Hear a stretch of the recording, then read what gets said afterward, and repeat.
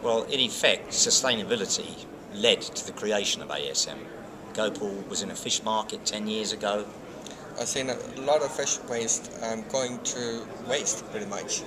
And um, I thought about creating some kind of system that would recycle and recreate some kind of value to both for the fish market as well as for um, the industry.